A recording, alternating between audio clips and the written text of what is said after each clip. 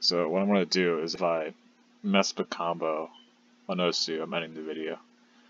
Um, I was gonna tell him garbage, uh, only a six digit. But hopefully I get enough, uh, you know, footage for a full video. I'm gonna do one that I haven't done before.